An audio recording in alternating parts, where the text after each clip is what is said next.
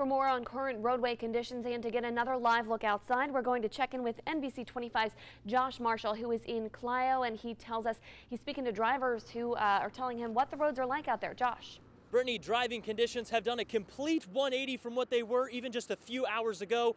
Drivers at the Clio rest stop say right out there on Interstate 75, it's gone from bad to worse. The Genesee County Road Commission says that they are out in full force, but drivers say it's not enough and now it's affecting their safety.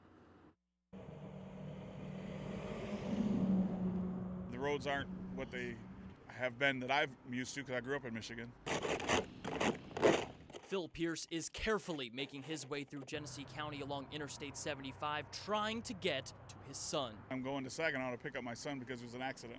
His route taking him through the heart of Genesee County. Very scary, unnerving. Road Commission Director John Daly told NBC 25 Friday his crews are at full tilt. We'll probably have about 30 trucks out in the road.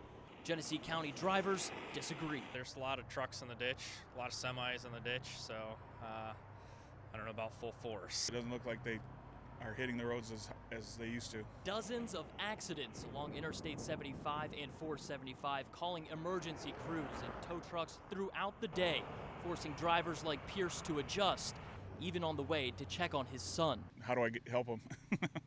So, and then I got to go out back out on the roads uh, that he just had trouble on, so it's kind of nervous. NBC 25 did contact the Genesee County Road Commission today. Their only response asking drivers to stay off the roads if they can, leaving their plow trucks plenty of room to work. Live in Genesee County, Josh Marshall, NBC 25 News. Brittany.